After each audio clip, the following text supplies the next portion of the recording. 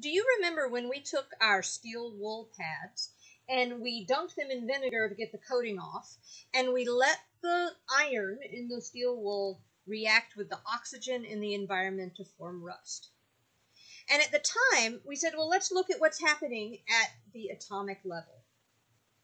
And at the atom level, we had iron atoms, and they go around individually, and we had oxygen atoms, which like to go around as a pair. And we said, here is what a molecule of rust looks like.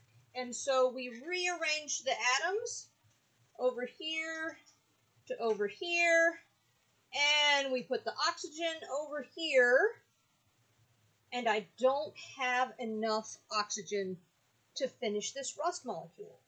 But I can't just suddenly create an oxygen here because we have a rule in chemistry that matter cannot be created or destroyed. It's always the same amount, just changing place.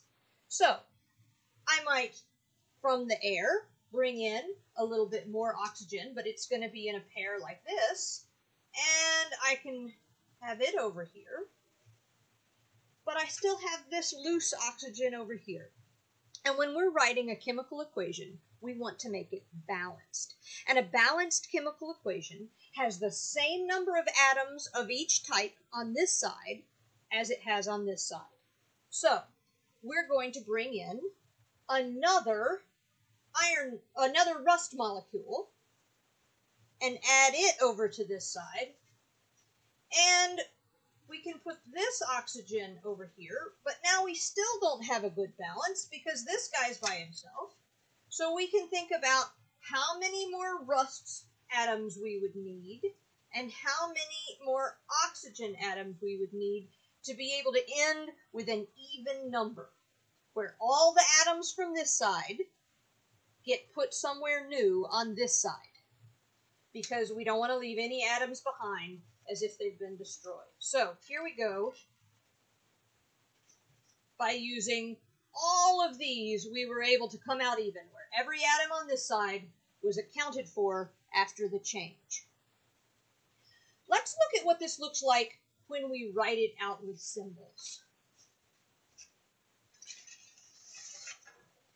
With symbols, we write the chemical reaction of we had the iron, we had the oxygen that goes in pairs, and it becomes the rust molecule.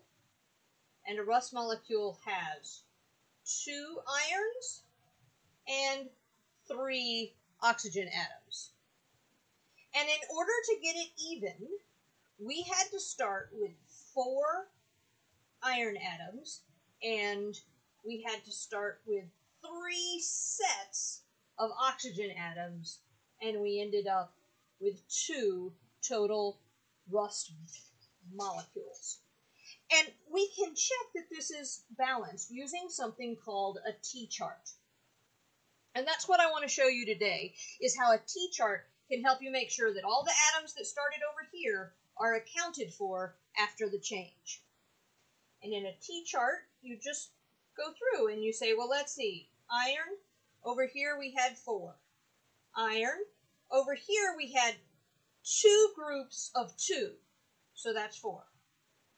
Over here we had oxygen, we had two group, three groups of two oxygen atoms, so that's six. And over here, we had two groups of three oxygen atoms, so that's also six. And so we have the same amount here, the same amount here, and we can say the equation is balanced.